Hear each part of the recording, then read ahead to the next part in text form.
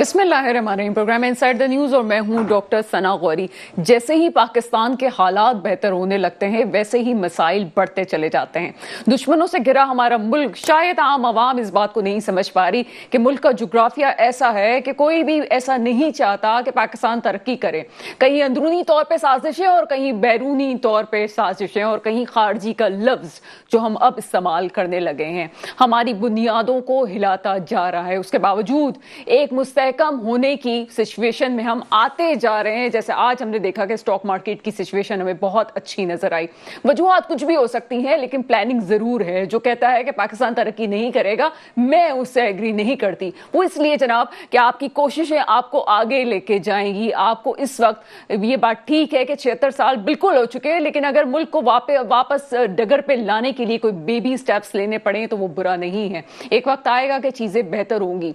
चीज़ें बेहतर हो रही थी थी लेकिन उसके साथ हमने देखा कि कराची में एक ब्लास्ट होता है। बहुत दिनों बाद कराची दहशत गर्दी की लिप, लिपेट में आ जाता है। उस लिपेट में हमें पता चलता है कि जनाब ये खुदकुश हमला था जिसमें बहुत सी जानों का नुकसान हुआ। ना सिर्फ़ बहुत सी जानों का नुकसान हुआ बल्कि आलमी तनाजुर में भी पाकिस्तान के इमेज को डैमेज करने की कोशिश की गई। लेकिन ये एक हकीकत है कि आलमी सतह पर जिस इमेज को डैमेज करने की कोशिश की जाती है साथ साथ ये भी याद रखना चाहिए कि वो ममालिक जिनसे हमारे बड़े अच्छे बरदराना ताल्लुकात हैं वो इस बात को समझते हैं कि पाकिस्तान ने दहशत गर्दी की वजह से काफ़ी कुर्बानियाँ दी हैं और आज भी हम वेस्टर्न बॉर्डर पे भी और ईस्टर्न बॉर्डर पे भी हम इस मामले में लड़ रहे हैं कि जनाब मामला कैसे बेहतर हो सकता है। दूसरी बात करेंगे। इसराइली जहरियत और बरबरीत की मिसाल शायद दुनिया में नहीं मिलती। और इस वक्त जब वापस से इसराइल ने इस बात का अंदिया दे दिया और ये इरादा किया कि किसी भी तरह फ़लस्तीन पे वो काबिज हो तो उस तमाम मामला को अब तकरीबन आज एक साल हो चुका है। और इसको याद रखना चाहिए कि इस एक साल में सिर्फ़ कहने को एक अरसा है, लेकिन वहाँ पे के लोगों पे जो गुजर रही है, वो बयान नहीं किया जाता। आँखें अश्क बार हैं और हम शायद अपनी मजबूरियों में उलझे हुए हैं। हम शायद अंदरूनी सहाफत में, अंदरूनी चीज़ों में इस तरह उलझे हुए हैं कि मसाइल हल नहीं कर पा रहे। हम शायद खुल के नहीं कह पा रहे थे कि इसराइल की बरबरीत का जवाब, हम मुँह तोड़ जवाब दे सकते हैं। क्यों जनाब? वो इसलिए कि हम अपने मसलों में उलझे हुए लेकिन आज एक अच्छा पैगाम दिया गया। तमाम पार्टीज़ ने मिलके यहाँ पे ऐवान सदर में जो हमारी कॉन्फ्रेंस हुई, उसमें हम देख सकते हैं कि एक वाज पैगाम दुनिया को जाता है कि आज भी हम इकट्ठे हैं। और एक आखिरी बात जो मैं इंट्रोडक्टरी पार्ट में कहूँगी, वो ये कि ये हमारे दुश्मनों को मुँह तोड़ जवाब है कि जनाब पाकिस्तानी कौम एक है, चाहे अब अंदरूनी तौर पर जितनी भी साजिश कर लें। तमाम मौजूद पर बात करेंगे। मेरे साथ आज प्रोग्राम में मौजूद है ब्रिगेडियर रिटायर हारिस नवाज़ साहब। आपसे सबक निगरान वज़ीर दाखिला हैं और मेरे साथ स्टूडियो में मौजूद हैं मोहतरम मोहतरम हाजी हनीफ तैयब साहब आप सरबरा निज़ाम मुस्तफ़ा पार्टी हैं। सर प्रोग्राम में आपको वेलकम करते हैं। बहुत शुक्रिया। और मुझे ज्वाइन करने के सरबत एजाज कादिर साहब सरबरा पाकिस्तान सुनी तहरीक। सबसे पहले हम चलते हैं ब्रिगेडियर रिटायर हारिस नवाज़ साहब की तरफ़। सर प्रोग्राम में आपको वेलकम करेंगे। चलिए जनाब कुछ देर में हमारा उनसे रहा होता है। हम हाजी साहब की तरफ़ चलते हैं। हाजी साहब पहले तो हम इस पर बात कर रहे हैं जो कराची में दहशत गर्दी की हालिया लहर है इस पर आपके क्या कमेंट है क्या बात करेंगे आप? बिस्मिल्लाहिर्रहमानिर्रहीम।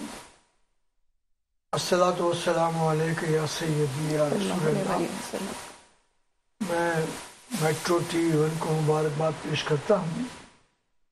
आज सात अक्टूबर है। आज के दिन ही एक साल पहले बहुत बड़ा दहशत गर्द मुल्क इसराइल है। उसने दहशत गर्दी का आगाज़ किया। इस एक साल के दौरान हज़ार हा बच्चे शहीद हो चुके हैं। नस्लों को तबाह किया जा रहा है। इस एक साल के दौरान हज़ार हा खातन शहीद कर दी गई। हज़ार हा मर्द शहीद कर दिए गए। गजा और फ़लस्तीन तो पूरा ही खंडर बना दिया गया है। और इतना मलबा है कि अगर उसको टनों के हिसाब से भी जोड़ा जाए तो जोड़ना मुश्किल है। इतना मलबा है।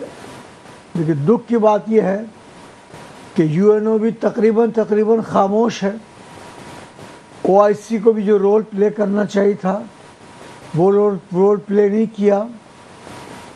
चलिए अच्छा हुआ, देर से ही सही, लेकिन आज एपीसी हुई। बेशतर पार्टियों ने उसमें अच्छा व शिरकत की और अपना फरीज़ा पूरा किया। इन सब का हम आवाज़ होना, एक आवाज़ होना बहुत ज़रूरी था, है। और इन अल्लाह चाहेगा कि इसके अच्छे असरात मुरतब होंगे। फिर ये कि इसराइल के बारे में अमेरिका जो मुख्तलिफ़ तलाश करता रहता है किस किस मुल्क में दहशत गर्द है? भाई सबसे बड़ा दहशत गर्द तो आपके अंडर छुपा हुआ है। आपकी सरपरस्ती में है कि हज़ार लोग, मर्द बच्चे, औरतें शहीद कैसे हुए? उनके लिए सारा असला और सारा पैसा खर्च करने के लिए अमेरिका ने प्रोवाइड किया, बरतानिया भी प्रोवाइड कर रहा है। ये दो मुल्क तो जो भी चाहे करें, लेकिन उस मुल्क के लोग जब एहतजाज के लिए निकलते हैं तो हज़ारों और लाखों की तादाद में वो एहतजाज के लिए निकलते हैं। जितना एहतजाज हमारे यहाँ होना चाहिए, उससे ज़्यादा उन मुल्कों में हो रहा है। फिर आलमी अदालत इंसाफ में कौन गया? पाकिस्तान गया, तुर्की गया, कौन गया? साउथ अफ्रीका गया। उसने आलमी अदालत इंसाफ में इसराइल के ख़िलाफ़ मुकदमा किया और आलमी अदालत इंसाफ ने फैसला इसराइल के ख़िलाफ़ दिया। लेकिन बात यह कि इन तमाम फैसलों के बावजूद अकवा मुतहदा का मुसलमानों से कोई हमदर्दी वाला रोल नहीं है। इनकी अपनी करारदादों पर कश्मीर के मामले में इन्होंने अमल नहीं किया, जबकि एक लाख से ज़्यादा हमारे कश्मीरी भाई बहन शहीद किए जा चुके हैं। अपनी ही इनके करारदादों में के मुताबिक ये फ़लस्तीन के मामले में अमल दरामद नहीं करते। और इनकी मुस्लिम दुश्मनी तो इतनी आया है कि इंडोनेशिया के बिल्कुल करीब ही एक मुल्क था। उस मुल्क में कहा गया कि रेफरेंडम करा लो और रेफरेंडम हो जाए तो उस मुल्क को इंडोनेशिया से अलग कर लो। उसका नाम मशरकी तैमूर है। उसको रेफरेंडम के ज़रिए अलग कर दिया गया। हमारे लिए भी रेफरेंडम तय हो चुका था। रेफरेंडम कश्मीर में होगा ये डिसाइड हो चुका था। बस अब उसको रोका हुआ है और रोक रोके हुए सत्तर साल से ज़्यादा हो गए हैं। हम्म। लेकिन जब तक कोई पाकिस्तान की तरफ़ से कुछ ईरान ने हिम्मत की क्योंकि बहरहाल इतने लोग शहीद किए जा चुके हैं सर मैं इस पर चाहती हूँ कि थोड़ा इंटरप्ट करूँगी लेकिन मैं चाहती हूँ कि आपसे बहुत तफसीली भी बात करूँ करूँ लेकिन एक गेस्ट हमारे चूँकि रिमोट पे हैं उनसे भी हम बात करते हैं। मोहतरम जनाब ब्रिगेडियर रिटायर हारिस नवाज़ साहब मेरे साथ मौजूद हैं। सर प्रोग्राम में आपको वेलकम करते हैं। थैंक यू ब्रिगेडियर साहब पहले तो ये हालिया जो लहर है दहशत गर्दी की कराची में हमने देखा इसके ऊपर आप क्या कहेंगे? ये इसी वक्त का क्यों तयन किया गया? और दुश्मन के इरादे क्या हैं इस वक्त? किस तरह से सबूताश करने की कोशिश की जा रही है इस वक्त? देखें ये एक बड़ा प्री की गई है। आपको पता है कि सऊदी डेलीगेशन आ रहा है, अभी सुबह हो गए पंद्रह से सोलह जो है वो मीटिंग होती है इस्लामाबाद में। और जो बहुत अहम है, किसान मोहम्मद फारम वाले हमारे रीजन के, और उसमें कुछ ऑब्जर्वर तो उसका ये है कि ये सारे टैक्स कहीं नेशनल के क्यों होते हैं? मकसद ये देखें चाइना कोयटा बलूचिस्तान में सी पैक मनसूबे में पाकिस्तान की मदद कर रहे हैं, उनके इंजीनियर्स आते हैं, वहाँ पर वादा पोर्ट को ऑपरेशनाइज कर रहे हैं। ये ये बी आर आई का फ़र्स्ट फ्लैगशिप ऑपरेशन है प्रोजेक्ट है। और ये हम इसलिए कि अभी हम एक इस्लामिक मुल्क हैं, हम एक न्यूट्रल मुल्क हैं, हमारी फौज बहुत ही स्ट्रॉन्ग प्रोफेशनल है, हमारी जो सेक्रिफिकेशन अच्छी है अगर इस चीज़ तक हम इस्लामिक तरक्की करेंगे तो उसमें फैसले अपने मुल्क में मफादात में करेंगे और हम आइए बढ़ जाएँगे, चुंगल से लेके जाएँगे। बेसिकली वो हमें चाहते हैं, हम इकोनॉमिक तरक्की ना करें। ये ज़ाहिर के इंडिया जो प्रॉक्सी है इस ममालिक की, वो साफ़ ओपनली कहते हैं कि जी हम बलूचिस्तान को लैदा करेंगे, हम पाकिस्तान में दहशतगर्दी करेंगे। गुलभूषण यादेव की मिसाल आपके सामने है। और इस मौके पे एच से पहले धमाका होने का मतलब ये है कि शायद लोग फ़ौरन डर के पाकिस्तान ना आए, पाकिस्तान में आना बंद कर दें पाकिस्तान में फॉरन इन्वेस्टमेंट ना हो फॉरनर्स ना आए, ताकि हम यहाँ पर और इकनॉमिक तरक्की ना करें। ये मनसूबे हैं, जिसके लिए पाकिस्तान की मुसल्ह फौज चीफ आमिर साहब नासिम ने तहिया किया हुआ है कि हमने दहशतगर्द के खिलाफ लड़ते रहना है और दहशतगर्दों को मारते रहना है। लेकिन एक उनका जो पॉइंट है कि अजम इस्तेकाम में पूरी कौम को मुसल्ह फौज के साथ खड़े होने की ज़रूरत है, क्योंकि हम सबने मिल के दुश्मन के नैरेटिव को डिफीट करना है। आपके सामने भी पचपन पीटीएम पेपर भी पाबंदी लगा दी कि ये भी बहुत बड़ा एक नेतृत्व ग्रुप है, ये जिसमें मिला अगर आज इनको ज्वाइन किया, इसका मतलब कि नेक्सस पहले के ड्रॉ के साथ मिलते हैं आपस में कोऑर्डिनेट करते हैं। तो ये वजह लेकर हमें अपनी सुरह की डेफिनेटली बहुत बेहतर करने की ज़रूरत है। हमें कोई ऐसा मौका नहीं है कि जिसमें चाइनीज़ नुकसान हो और हमारे फ्यूचर सुबह डिले हो जाए।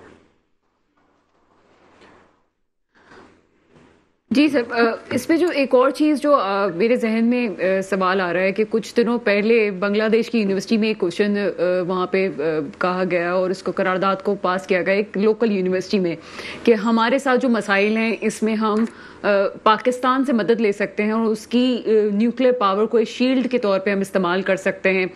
इसके हवाले से भी काफ़ी खुलबली हमें नज़र आती है, इंडियन मीडिया इस हवाले से काफ़ी बात कर रहा है। इस तनाजुर में आप क्या आ, समझते हैं कि क्या ये बांग्लादेश में जो पूरा तख्ता उल्टा है उनकी सोच जो वहाँ की आवाम की बदली है क्या इसका भी असर है कि वो पाकिस्तान को डिस्टेबल करना चाहता है ताकि कहीं वहाँ पे पाकिस्तान के ताल्लुक बेहतर ना हो सके बांग्लादेश से? देखें इंडिया ने बांग्लादेश से उनको अपनी एक नई कॉलोनी बनाया हुआ था। और ये वहाँ के नौजवानों को बिल्कुल पसंद नहीं था हसीना वही जो अपने को कहती थी कि मैं इंडिया की बेटी हूँ। टोटल टोटल उनका कंट्रोल था बांग्लादेश के ऊपर। और यही बातों की वजह से जो वहाँ जुल्म होता था, वहाँ पर जो कोटा सिस्टम था, लोगों को आगे आने में दिया जाता था, जिससे स्टूडेंट बहुत उनके ग्रीवेंसी से अल्टीमेटली उन्होंने बहुत हिम्मत ज़रूरत मुजाहरा करके इनको वहाँ से इंडिया इंडिया का जो गजबा था, वो खत्म किया कंट्रोल खत्म किया। और डेफिनेटली वहाँ के लोग, जो देखा मुजीब रहमान की भी मुजस्मे गिरा दिए। And they were Pakistan Pakistan झंडे लहरा रहे थे आई थिंक हमें भी स्टेप फॉरवर्ड और जो जो उनको मदद चाहिए।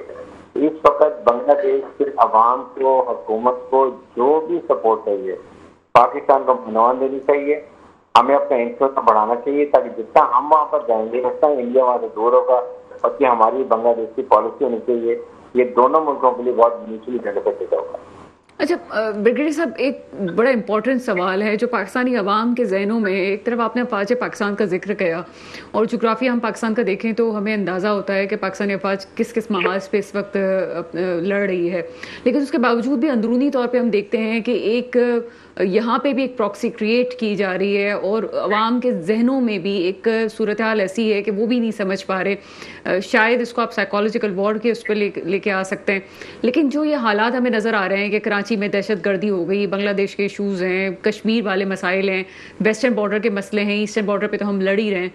तो ये तमाम चीज़ें आपके नज़रिए के तहत किस तरह से आवाम को, को क्लियर की जा सकती हैं कि जनाब और बहुत सारे इश्यूज़ हैं जिस पर बात की जा सकती है हमें फ़िलहाल अंदरूनी इख्तलाफात को छोड़ देना चाहिए। देखें इस वक्त जो हमारे दुश्मन नैरेटिव है वो ये है कि किसी तरीके से भी क्योंकि दुनिया ने और इंडिया ने रियलाइज़ कर लिया है कि जब तक पाकिस्तान की फौज मज़बूत है, उसको अवाम की सपोर्ट और कॉन्फिडेंस है, वो पाकिस्तान को फेडरेशन ऑफ़ पाकिस्तान को नुकसान नहीं पहुँचा सकते।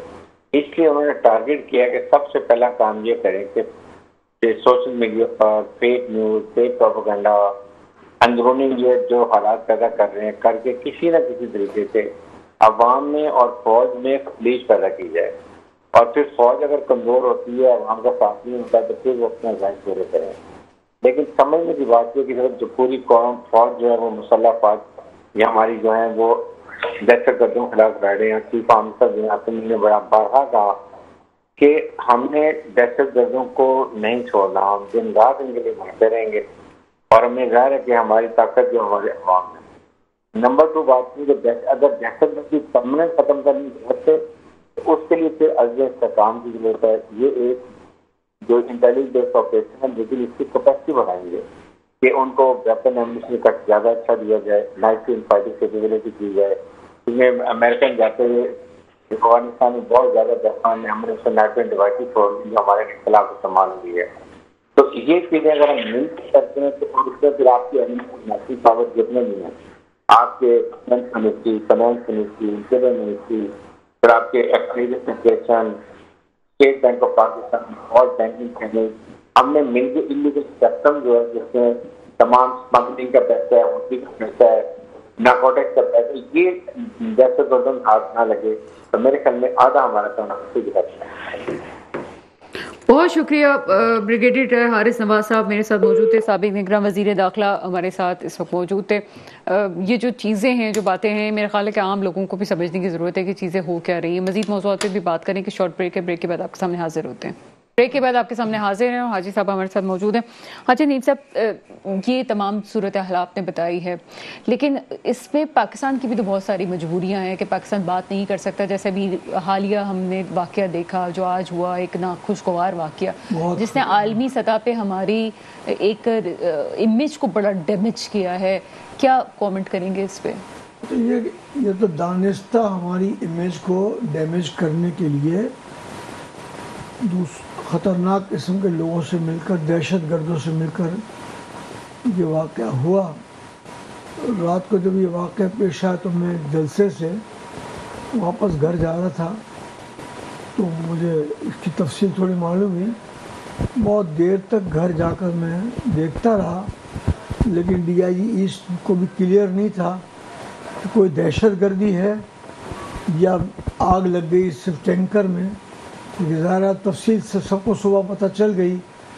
असल चाइनीज़ पर हमला था सी पैक पर हमला था, कराची पर हमला था, पाकिस्तान पर हमला था। बलूचिस्तान के लिए मुमकिन तरक्याती काम जो हैं, उन पर हमला था। और ज़ाहिर है कि इस इन हमलों में ज़ाहिर दुनिया की बहुत सारी बड़ी ताकतें भी नहीं चाहती कि पाकिस्तान बहुत ज़्यादा चाइना के करीब आ जाए। इंडिया कभी नहीं चाहता कि पाकिस्तान और चाइना के दरमियान इतनी क़ुरबत बढ़े। उनके जो जो हाथ में इलाके हैं, जैसे बलूचिस्तान है, या बाज़ जगहों पर अफ़गानिस्तान की वजह से ऐसे लोग हमें जो दहशत गर्दी हर जगह कर रहे हैं तो कल की का वाक़ तो इंतहाई एक बहुत बड़ी दहशत इसको हम एक तनाजुर में देख रहे हैं। अच्छा मुझे इस वक्त ज्वाइन कर चुके हैं सरवत एजाज कादरी साहब सरवर पाकिस्तान सन्नी तहरीक है। अच्छा उस साथ साथ हम ये भी देख रहे हैं कि अगर आपने जहाँ पे बात की कि भारत हमारे पीछे है इन मामला में बिल्कुल ठीक है लेकिन जहाँ आलमी सतह पर हम दो ब्लॉक्स की बात करते हैं तो उसमें ज़ाहिर सी बात है अब एक जंग चढ़ गई है कि सुपर पावर कौन होगा। हाँ। तो आपको ऐसा लगता है कि जहाँ ये भारत यहाँ पे प्रॉक्सी के थ्रू यहाँ पे हमले करवाता है कुलभूषण यादव के हमें मिसाल सामने है। तो क्या ये इसराइल भी पीछे हो सकता है? और अल्टीमेट टारगेट जो है फ्यूचर में पाकिस्तान भी है इसराइल का कि उसकी जो प्लानिंग्स है कि जना मुख्तलि ममालिक पे उसको जाके ये तमाम चीज़ें करनी है। मतलब इसमें कोई छुपी हुई बात नहीं है। हम्म। दुनिया इस बात को अच्छी तरह जानती है। मुसलमान जो फ़लस्तीन के गज़ा के थे वो जब तकलीफ़ में थे और अभी भी हैं वो एक ही बात करते थे कि हमें अब किसी से अगर उम्मीद है तो सिर्फ़ पाकिस्तान से है। बहुत अच्छा किया। इजहार यकजहती के लिए आज पाकिस्तान की तरफ़ से ए पी सी मुनद हुई थी और तमाम जमातों ने शिरकत की।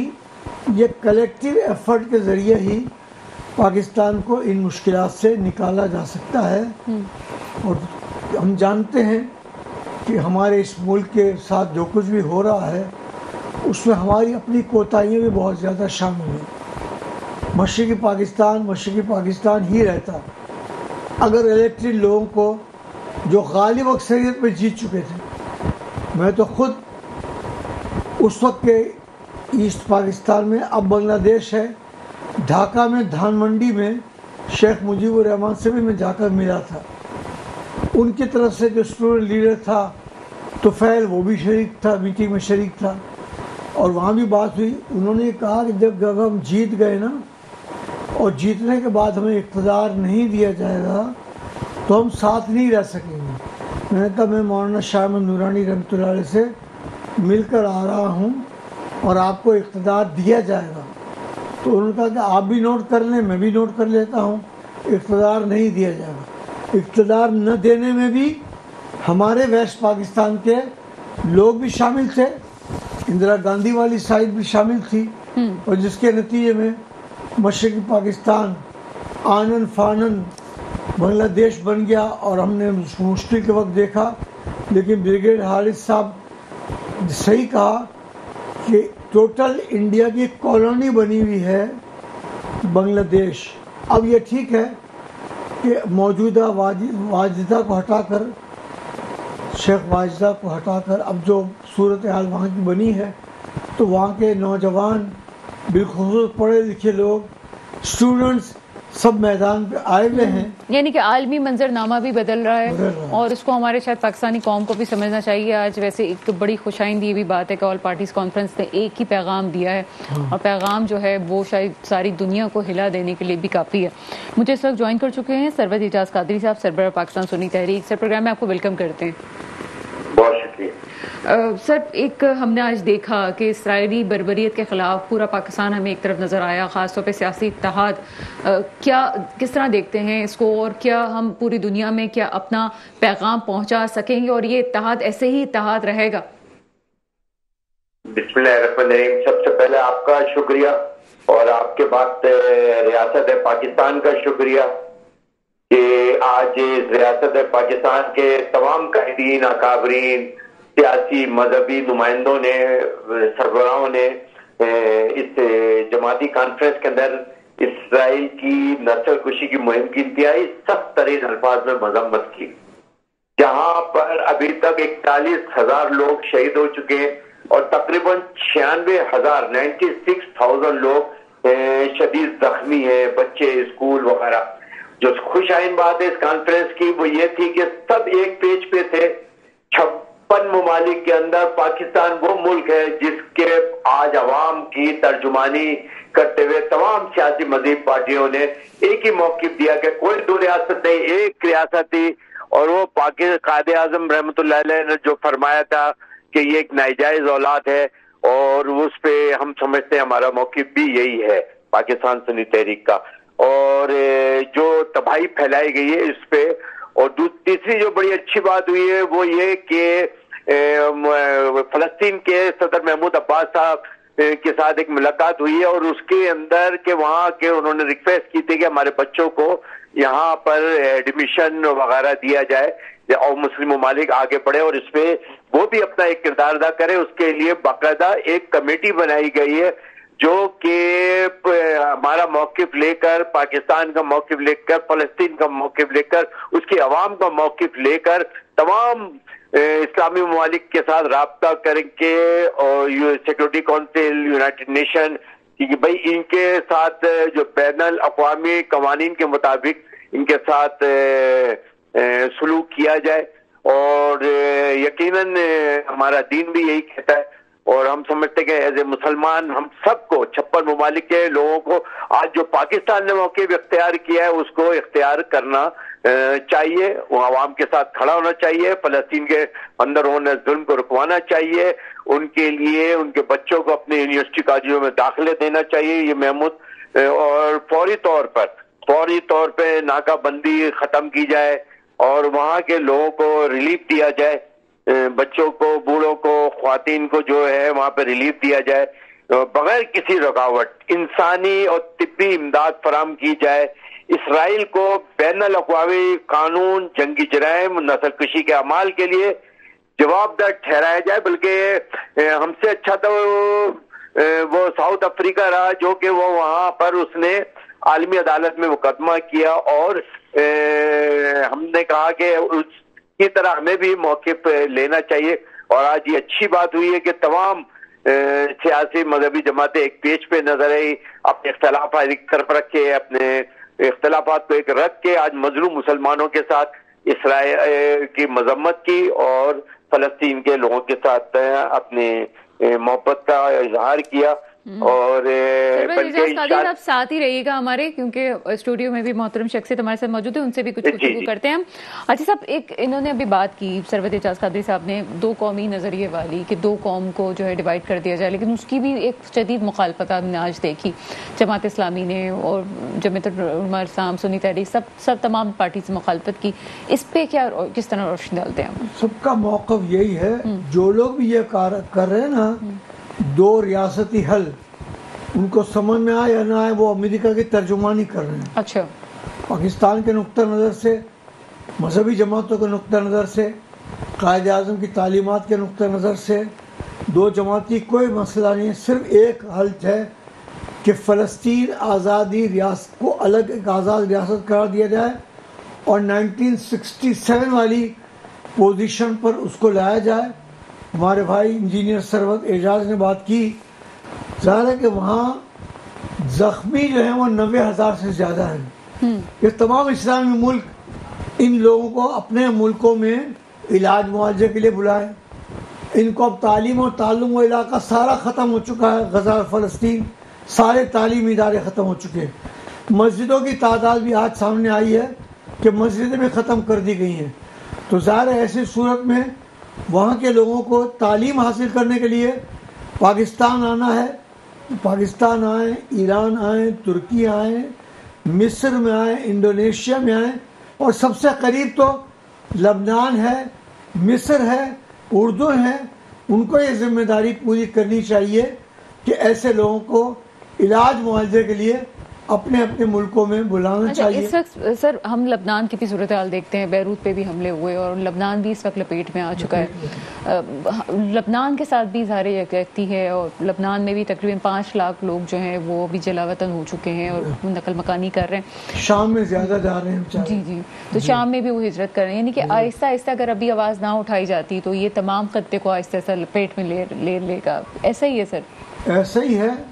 और उसूलन देखा जाए सिर्फ़ गज़ा और फ़लस्तीन दो ही जगह पे तो मामला नहीं रुका ना इसराइल का हम्म। ये बाकी ममालिक जिनके नाम हमने लिए उधर भी उसने हमले शुरू कर दिए हम्म। बहुत बड़ी तादाद में लबनान पे इन्होंने हमले किए हैं और लाखों वहाँ से लबनानी शाम और अतराफ़ के इलाकों में गए हैं तो इसलिए इस वक्त अगर आज मुस्लिम दुनिया ओ आई सी नहीं जागी और जिसको जगाने के लिए यकीनन पाकिस्तान ने अच्छा रोल अदा किया है तो सबको जगाएँ बेदार करें और इसके बाद इसराइल से इस जुल्म का इंतकाम लिया जाए।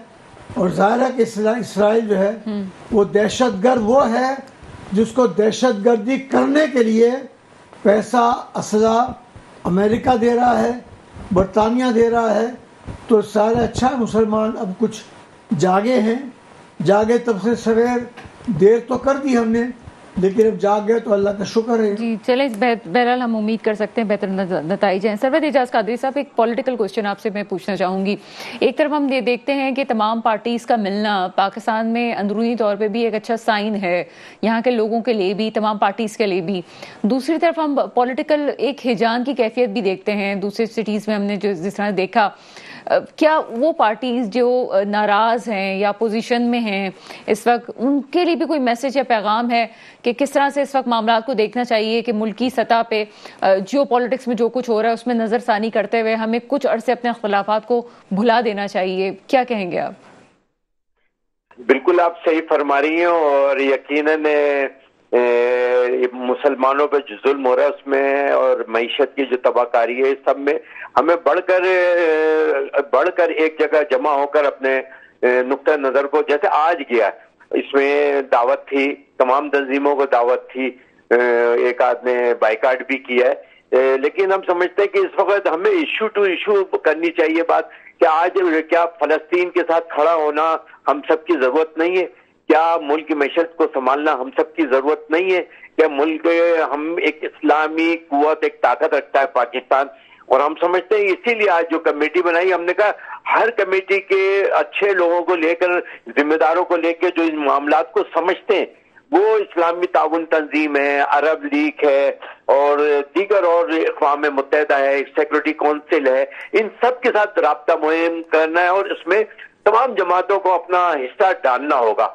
हम इस मुल्क के लिए मुसलमानों के साथ आवाज़ से आवाज़ मिलानी होगी, बल्कि हमें हम तमाम ममालिक से रबता करके हमें डिप्लोमेसी में भी अपना एक किरदार अदा करना है। और यहाँ पर हमें इख्तलाफ एक तरफ़ रख कर हम सोचेंगे, आगे बढ़ेंगे कि आज आप देखें ना, एक कितना खूबसूरत पैगाम आज पाकिस्तान से गया है। मतलब आज 25 करोड़ आवाम का पैगाम गया फलस्तीन के मजलूम आवाम के साथ का पैगाम गया जो उनकी ख्वाहिशात के मुताबिक गया हमें मुसलमानों को अपने प्लेटफॉर्म पे लाने के लिए मुसलमान जुल्म कहाँ है? लबनान, शाम है। हमें बल्कि एक और आज बड़ी अहम बात हुई, वो ये कि हमें सऊदिया और ईरान के अंदर दरमियान में दो पुल ब्रिज का किरदार अदा करना चाहिए, ताकि एक आवाज़ हो मुस्लिम ममालिक की, एक कुत हो, एक ताकत हो।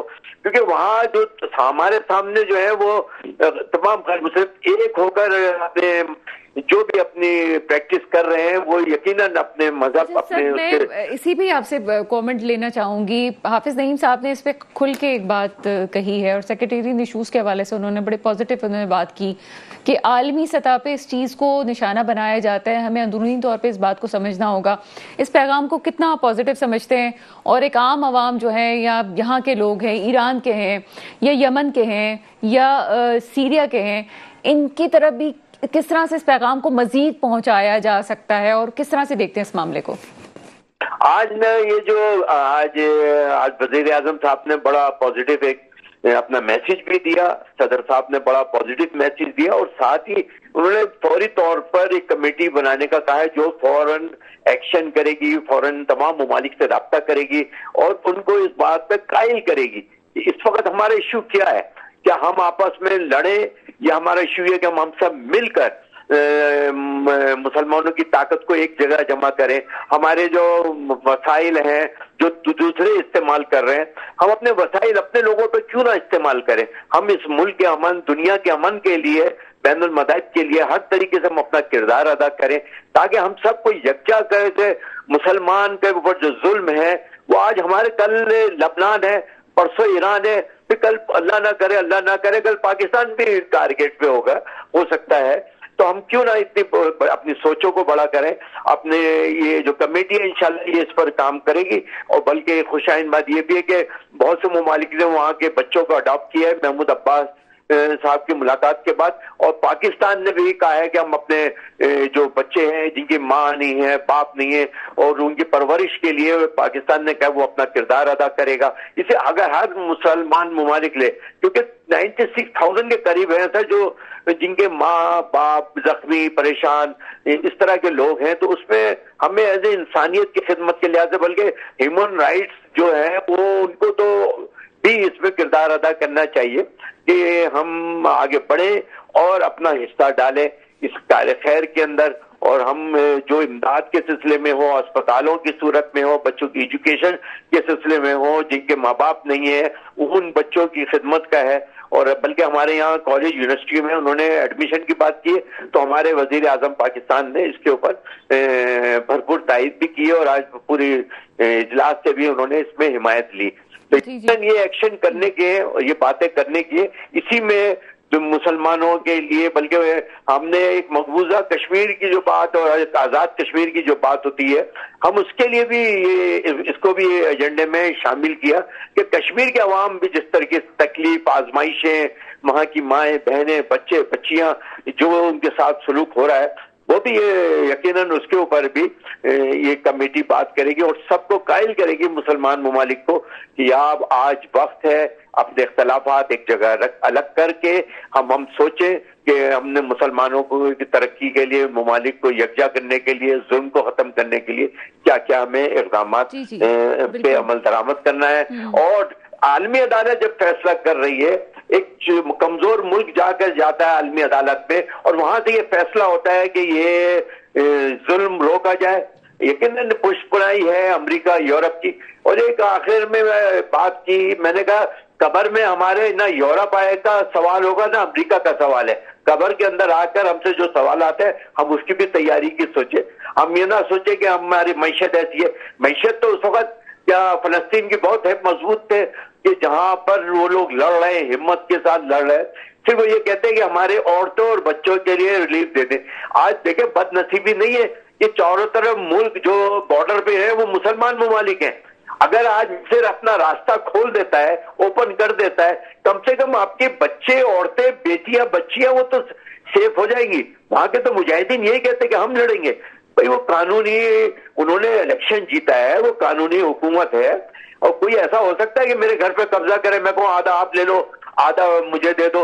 ऐसा कोई नहीं होता कोई दुनिया का कोई कानून नहीं है। ना बैन अवी ना यूनाइटेड नेशन का। वो खुद कहता है कि अपने मुल्क के दिफा की बात करता है। हम समझते हैं कि हमें सोचना होगा अपनी सोचों को अच्छा करना होगा और जो जो दबाव है वो हमें सहना होगा। इसमें हमें दबाव आता है तो आज अच्छी बातें की है मज़बूत बातें की है। लेकिन यही जहन हमें अपने छप्पन ममालिक का भी तो बनाना है, पचपन ममालिक का, ताकि हम अपना कोई किरदार तो अदा कर सके। एज ए मुसलमान, क्या वो बाप जो अपने बेटे को, अपनी बच्ची को कहता है, मैंने अपनी ज़िंदगी में दो बोसे लिए। एक जब ये पैदा हुई थी और आज छह साल की जब इसकी शहादत हुई है तो सोचे कल हमारे अपने बच्चे बच्चियों को अपने सामने रख के सोचे कि वो बाप ये कह रहा है। आज जनाजे के अंदर जनाजा भेजा जाता है, फलस्तीन के अंदर, उसके अंदर बम नष्ट किया जाता है। नारे तक भी लग रहे हैं, जनाजा लेकर जा रहे हैं और धमाका होता है। लोग फिर और शहादतें होती हैं। जब जुल्म की इतनी इंतहा है, उसकी खामोशी, यकीन माने कबर और आखिर के अंदर ये हम सब जवाब दे होंगे। हम सब जवाब दे होंगे, हम सब जवाब दे होंगे बहुत शुक्रिया आप सरवत एजाज कादरी साहब मेरे साथ मौजूद थे। मसला जिस तरह से सरवत एजाज कादरी साहब ने बहुत बहुत बहुत मुस्बत पैगाम दिया। और आँखें अश्कबार हैं, जिस तरह से उन्होंने बात की ये सिर्फ़ दिल की आवाज़ है। शहबाज शरीफ साहब ने भी ये कहा कि कुछ चीज़ें ऐसी होती हैं जो हम किसी के सामने बयान नहीं करते, लेकिन ये हमारे दिल की आवाज़ें हैं जिसको हम अपने इंडिविजुअली हम ये काम करें मेरे ख्याल है कि मुल्क की सतह पर जिस तरह से ऑल पार्टीज़ कॉन्फ्रेंस हुई है और इस अहम मौजू पर हुई है, शायद ये एक वजह हो कि हमारी मुल्क की अंदरूनी सियासत भी जो है वो भी अपने डगर पर आ जाए और वहाँ पर ही मसाइल हल होने की कोशिश हो। मस्जिद अक्सा की हिफाजत अल्लाह ताला के हाथ में है और हमें इस बात की उम्मीद है। वो कहते हैं ना कि जुल्म पर जुल्म है, मिटता है तो फिर बढ़ता है तो मिट जाता है और खून पर खून है बहेगा तो तो जम जाएगा। ये तमाम चीज़ें ऐसी हैं ऐसे फैक्टर्स हैं जिसको निशानदही करनी ज़रूरी है।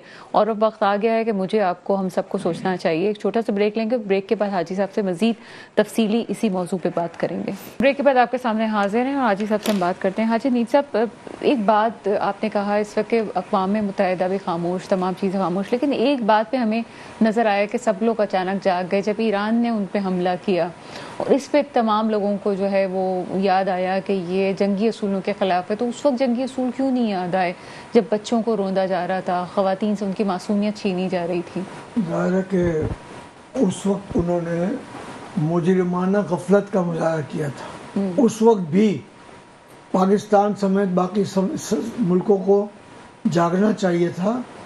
ये तो ज़ाहिर है कि हमें ईरान ने तो क्लियरली कह दिया क्या हसन नसरुल्ला और उस्मान हनिया पर जो मामला आपने किया है तो इंतकाम तो आपको लेना था और हमने इंतकाम लिया है।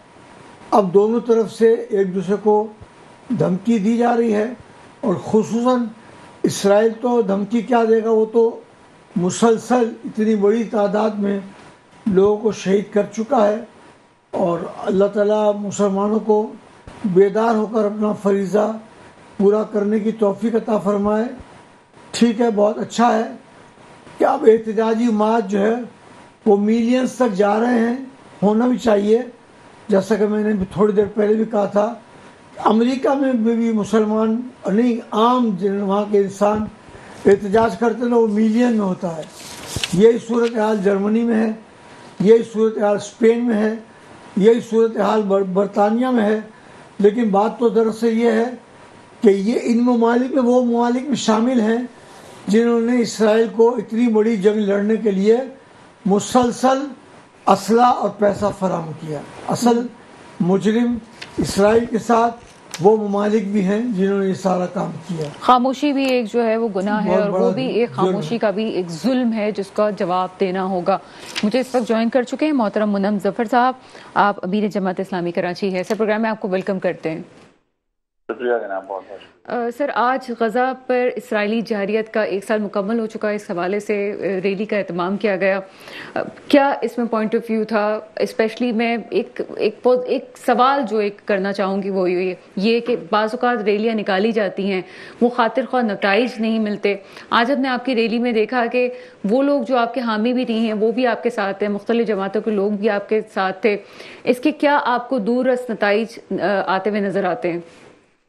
देखिए गजा पर इसराइली जारियत एक साल गुजर गया है और इन तीन सौ पैंसठ दिनों में जिस तरह जुल्म बरबरीत सफाकियत वहशत, दहशत गर्दी सबका मुजाहरा किया है इसराइल ने, इसकी मजम्मत की जाना चाहिए है और इसकी मजम्मत का कम अज कम आवाम के पास तो एक ही रास्ता है कि वो सड़कों पे निकलें, हम जारी बात कुछ नहीं कर सकते ना तो हम कम अज कम ये तो कर सकते हैं कि हम आवाज़ बुलंद करें।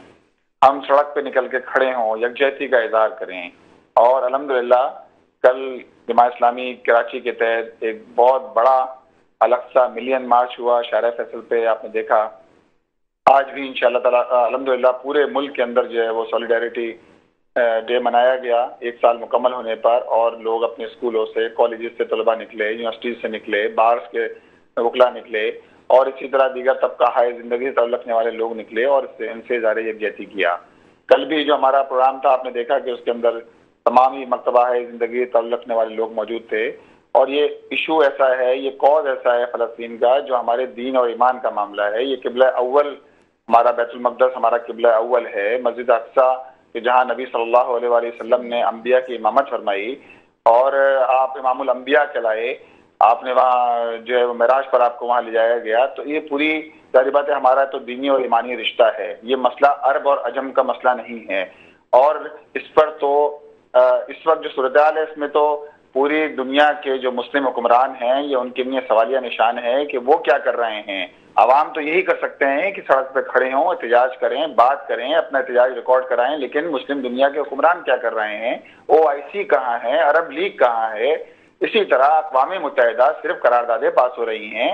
ये तो देखे ना, इससे ज़्यादा तो ये गजा में जो लहू बहा है, गजा में जो हमारे बच्चे शहीद हुए हैं, हमारी माएँ बहनें शहीद हुई हैं, हमारे नौजवान शहीद हुए हैं, ये उनका लहू है कि जो अब सरहदें फलांग रहा है और ये पूरी दुनिया को बेदार कर रहा है, जो बाजमीर लोग हैं, जो जिनके दिलों में थोड़ी भी ज़िंदगी की रमक है, वो ये बात ऐलान कह रहे हैं। आप देखें, अमेरिका की जामियात में जितना बड़ा एहतजाज हुआ वो तो नॉन मुस्लिम्स हैं। इसी तरह जर्मनी फ्रांस बरतानिया के जिनका ये बोया हुआ बीज है बरतानिया का जो है वो उसकी साजिश का नतीजा है जो इसराइल आपने फलस्तीन के फलस्तीन में ले जाकर आपने यहूदियों को बता दिया गया और वहाँ जो है लोग घर से बेघर कर दिया गया। लाखों की तादाद में लोग शहीद हो चुके हैं। तो इस पूरी सूरत के अंदर आवाज़ बुलंद करना हर आ, हर फर्द की ज़िम्मेदारी है चाहे वो मुस्लिम हो नॉन मुस्लिम हो कि वो आवाज़ बुलंद करे। और मगरब तो इंसानी हकूक की बात करता था ये अमेरिका ये बरतानिया ये फ्रांस ये जर्मनी ये इंसानी हकूक की बात करते थे। आज इनके इंसानी हकूक किधर हैं? ये तो ह्यूमन राइट्स की बात करने के साथ साथ एनिमल राइट्स की बात करते थे। हम्म। तो ये तो जिस तरह कत्लेआम हो रहा है जिस तरह जो है वो इसराइल जंदराता फिर रहा है और अब तो फलस्तीन से आगे बढ़कर लबनान में उसने जो जो है फौज कशी की है, वहाँ जो है मिसाइल बरसा रहा है, वहाँ लोग शहीद हो रहे हैं, यमन के ऊपर मिसाइल बरसाए जा रहे हैं। तो ऐसी सूरत के अंदर पूरी उम्मत को बेदार होना होना पड़ेगा और इसी तरह हमारे हुक्मरानों को जो है वो होश के नाखून लेना पड़ेंगे। इनकी खामोशी है, ये मौत की खामोशी है, इनके ऊपर जो तारी है, एक सन्नाटा है। मैं अच्छा, हुकूमत पाकिस्तान ने आज ऑल पार्टीज़ कॉन्फ्रेंस बुलाई। जी, जी, मैं इसके खैर मकदम करता हूँ। लेकिन ऑल पार्टीज़ कॉन्फ्रेंस से आगे बढ़कर कुछ करने की ज़रूरत है ताकि इसराइल को रोका जा सके ताकि अमेरिका को रोका जा सके जो डॉलर दे रहा है और अरबों डॉलर दे रहा है असला दे रहा है। इसको। रोकने की नहीं ज़रूरी है इस बात। बहुत शुक्रिया मुनम ज़फ़र साहब, आपका मौका हमारे सामने आया और चीज़ें जिस तरह चल रही हैं, यकीनन एक मुस्बत पैगाम है, यकीनन इसका कुछ असर ज़रूर होगा। हाजी साहब, आखिरी कोई पैगाम देना चाहेंगे? यही है कि इससे बदतर वक्त तो नहीं आ सकता, जो इस वक्त गजा फ़लस्तीन पर या मुसलमानों पर आया हुआ है। इस वक्त एक होकर पूरे आलम इस्लाम को ओआईसी को पहले रोल अदा करना चाहिए। अगर आप यू को एक्सपेक्ट करना चाहते हैं तो पहले ओआईसी को रोल अदा करके दिखाए। ओ रोल प्ले करेगी तो ज़ाहिर है कि फिर यूएनओ की भी कुछ आँखें खुलेंगी। लेकिन अदरवाइज़ मैंने अपनी पूरी ज़िंदगी में देखा है कि इस्लाम की फलाह का कोई काम यूएनओ से नहीं हो सकता। ज़ाहिर उसकी मिसालें कश्मीर भी है मशरक़ी तैमूर भी है इसलिए मुसलमान मुल्कों के लिए अच्छा किया।